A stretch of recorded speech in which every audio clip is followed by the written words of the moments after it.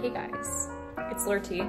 Um, today, Today, I'm going to be taking you along with me to do an enclosure build for this enclosure down here. If you guys have followed me long enough, you will remember this is actually Soleil's baby enclosure. Here's Soleil now. Isn't she amazing? Um, but she's getting an upgrade and that will be for a different video. But today I wanted to show you a really cool snake that's gonna be going into that old enclosure. Um, it is my Egyptian false cobra. You guys have not seen it because it has been in quarantine. Actually, it's female, you haven't seen her. Uh, but I'm really excited to show it to you and I thought, what the hell, I'd make a video and try to record myself actually building this out since so many of you guys love my enclosure builds and the way I design them. So if you are interested in that, then keep on watching. This is where I have all of the ingredients that we are going to be using in today's enclosure build. And I got some really awesome pieces, so I'm hoping that my vision for this little cage pans out. Um, I picked out some desert stone. It's in the color Sonoran Ochre. I've got some grape wood and some different climbing pieces to put in there. This really neat piece of grape wood that's sort of like a hide. I also got some Repti sand. Do not confuse this with calcium sand. That shit is horrible. This is Repti sand. This is a great natural substrate for anything that's arid and it's in the color Desert White. So I'm really excited to mix those two mediums together and of course, no enclosure build would be complete without some artificial foliage. And I got these all from Hobby Lobby. I think this cost me like $25 for the little succulents and cactus and stuff that I got from there. But this is everything that I'm going to be putting in this build. Obviously, I will add a water dish in here as well. The enclosure is a three by two by two enclosure. It has an LED light in here right now, which I do plan to change for a UVB because I think this species would actually really like that. And then up here, you can see that, that is a radiant heat panel. So that is what's actually heating the enclosure. Uh, this is from Pro Products Radiant Heat Panels. That company is absolutely amazing. They have incredible customer service. Their products are so good. I highly recommend them. And you can see it's really dirty in here. It's not actually dirty, I swear. Um, this is leftover coconut fiber, but I figured whatever, I'm not gonna even clean it out because the cage is super clean and um, I'm just gonna go right over it with the sand. So that should be perfectly fine. Also, can we take a minute to just admire my beautiful acrylic nails? My friend did these for me. They were actually made using Mitsuki's shed which if you guys are not familiar, Mitsuki is my false water cobra. So this is her actual literal snake shed in my nails and they are beyond epic. Like, holy crap. Sure which substrate to start with. I think maybe I should start with the bigger stuff and then mix the sand. Yes, that's what we're gonna do. The sand is so heavy. Oh my gosh. Hmm, I was not expecting it to look like this. That is so odd. And I could have literally just gone outside and got this out of the desert. Don't know how much to put in here. I'm guessing I should just do the whole bag so we can make a good layer. And then we'll spread it. Okay, there we go. Desert sand is in. We just have to spread it out in here and add the other white sand in. It's looking pretty good so far though. It's a cool color. Substrate numero dos.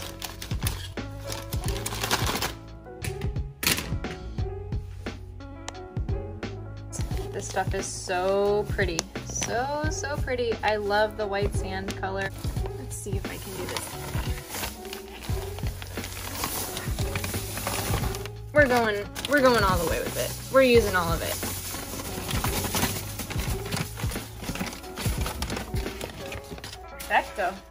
Oh, if you guys are wondering, this is the probe that's connected to a thermostat that tells my radiant heat panel up here how hot it's supposed to be getting.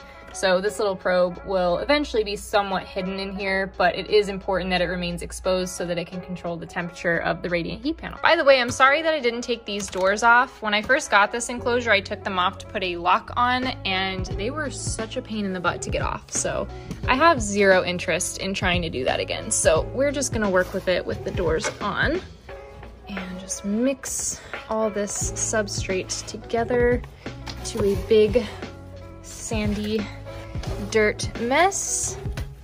It actually didn't go as far as I thought it would. Like it's not quite as thick as I had assumed before, but I think it's gonna look really, really good in here. It's a little bit clumpy. There's like some rocks in it. Interesting. But that's all part of the desert aesthetic, baby. You just gotta roll with it. I live in Arizona, so I freaking know, okay? Don't tell me what I'm supposed to do with my desert terrarium.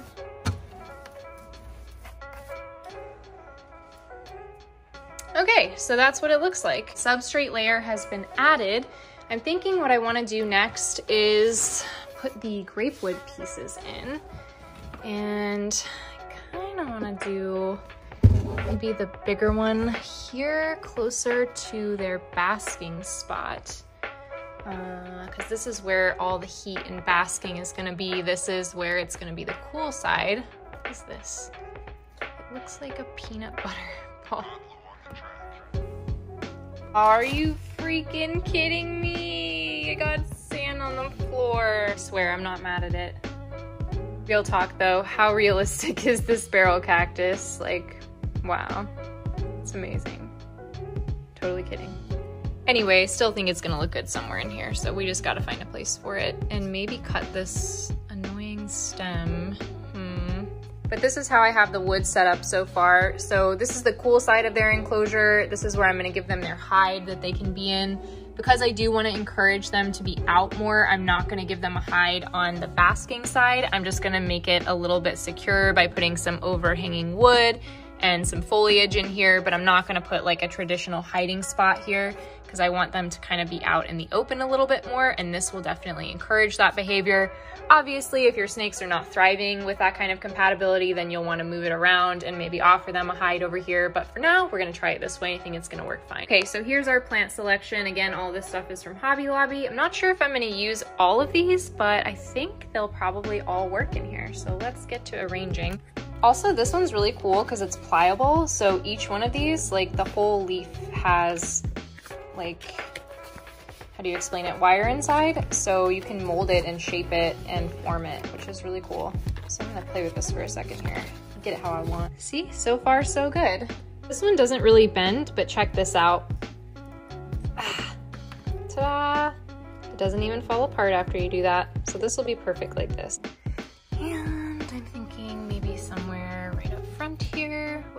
Spot for that one. This one's like really heavy. Let's see if it does the same thing. Come on, come on, come on, Hobby Lobby plant. Oh, no, there's a wire in this one. That's not gonna work. Let's reattach it and we will bend this one so that the wire's not exposed to the snakes. Also, if you guys keep hearing me speak in plural, that is because I am eventually planning to put a male in here as well. I have a female right now, but would like to have a breeding pair in the future. How does that look over there? That's kind of a neat color contrast, isn't it? Should we use this one? Ugh, it's too stupid not to use it. We gotta find a place for this. I just ripped the nub off on this cactus as well. So now we can just plant him wherever we want.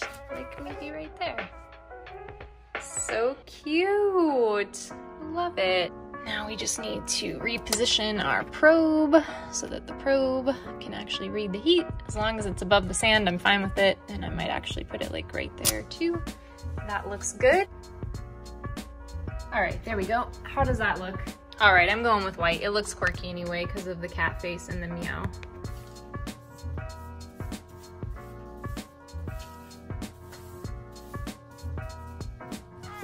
So this is the final product down here. It looks really, really cool and I'm hoping that my Egyptian false cobra will thrive in here. I think this looks amazing. I think it's gonna be perfect for my snake. So let's go get our snake and put her in here. I haven't mentioned this fact prior to now, but this is actually a rear-fanged venomous colubrid. So it does have venom similar to my false water cobra. This is an Egyptian false cobra, not to be confused. The venom toxicity is somewhat unknown on these, although honestly I do feel like most rear fang colubrids are insanely over exaggerated on venom toxicity and it is so frustrating. So do not be afraid of her. She is fine, but I will definitely be cognizant when handling her because I would rather not get envenomated. So let's do this nice and easy, shall we? This is a juvenile female, but I read that they get about four feet. Oh,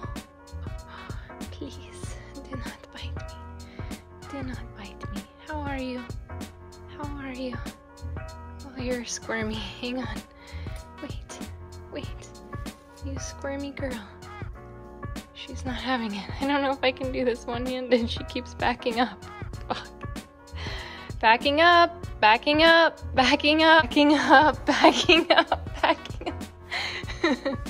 Come here, you're so tolerant, but what are you doing? All right, what? Now we're at this point. Gosh, you're so cute. At least you guys can get a good look at her. She's adorable. Okay, so I've got her and a piece of hair, excellent. And I'm going to let her go in here. Try not to stress her out handling her too much. What do you think? Do you like it in there? She's like, I'm going straight for the hide. Bye, see you later. I'll never come out again. So I need to get some water added in this dish, but look what we have back here. It's a tiny Egyptian false cobra head watching us. Listen, I'm doing the best I can, okay? I have Dasani. It's not the freshest H2O in the world like Chandler has, but it's gonna work just fine. It's pretty fresh. It's almost as fresh as his precious H2O. To be completely honest, I think I do wanna add some more natural elements, but I have some really cool like desert sticks and sagebrush that's dried up and stuff like that. So I think I actually will probably go collect some of those things from the desert here where I live because it's so abundant and free and possibly try to work those into this design a little bit as well because I feel like it's just a little bit weird and sparse and artificial with this stuff in here. So let me do some quick revisions and we'll see where it ends up. Hey guys, so now I am on my way out to the literal desert to get some stuff for this enclosure. Reptile girls be like, I know a spot, and then take you here. So I'm getting a bunch of this like scrub brush stuff. I brought my handy scissors and so I'm just kind of collecting like whatever I find out here that looks appealing to me. These are all super pretty grasses too. I really like them. I think they look really cool in the enclosure and they're easy to sanitize, easy-ish. This is really good terrain to be wearing flip-flops by the way. Okay, I think we got everything that we need. So I have returned from the desert. I got all these goodies. They are awesome. Um, they're pretty much already sanitized. I looked them over, but it's literally 115 degrees out there. So I think we're good. This thing is flaming hot. It literally burned my arm when I was bringing it up the stairs, so that's great. But yeah, I think this will be a cool basking rock. We're about to revamp this from very artificial and Hobby Lobby to natural, which is much more my style. As I'm thinking about this logically, I put the rock over here so it can heat up under the radiant heat panel for basking, but I'm gonna be really careful with all of this dried brush around the radiant heat panel. It's pretty much fireproof, but like if stuff touches it, it won't burn you, but it does get really, really hot, so you don't wanna leave your hand in contact with it. So I think I'm gonna put most of all of my scrub brush and everything over in this area. I've already got this little pom-pom weed over here, whatever they call it. I was gonna use this stupid little thing, but I wasted it. Ugh. And I also wasted that. Brilliant. This is what the enclosure looks like now.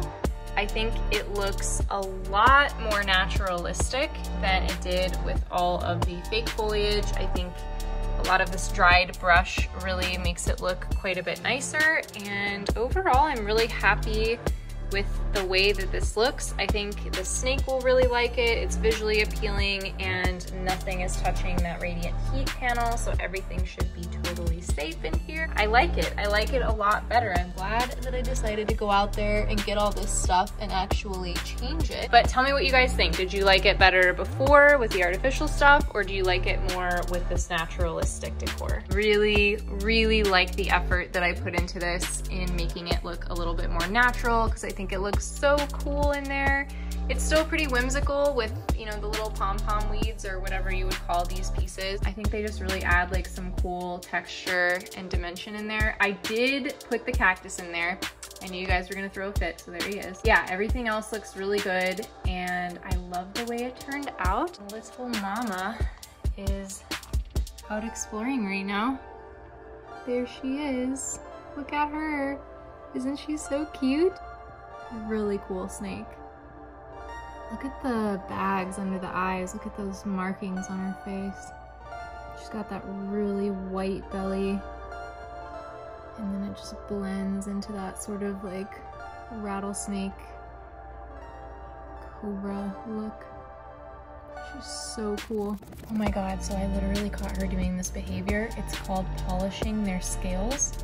It is the weirdest shit ever. Like, did you see that? What she was just doing? That is so bizarre. And she's able to flatten her body out so much. Just a second ago, she had like an entire panel of her body just completely spread open and flat. It looked so weird. Strange little snake.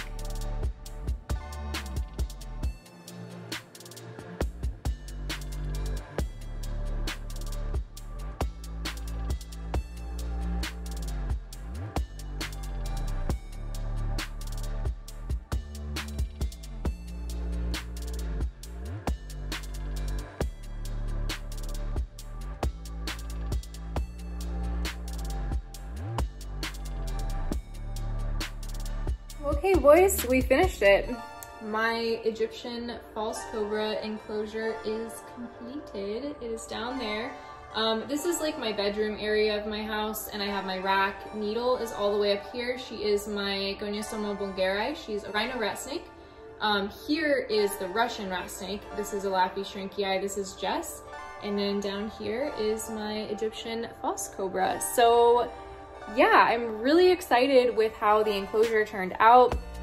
Kind of a weird video because I like completely did the enclosure like really synthetic with all of the Hobby Lobby stuff that's back there. And then I decided to just change it at the last minute and do something a little bit more natural. But um, yeah, I hope you guys liked this sort of vlog style impromptu video. Admittedly, I've been in sort of the void lately, as I like to call it, just really depressed and stressed out. So I haven't been too interested in creating a lot of content for you guys, but I'm glad that I was able to do something today.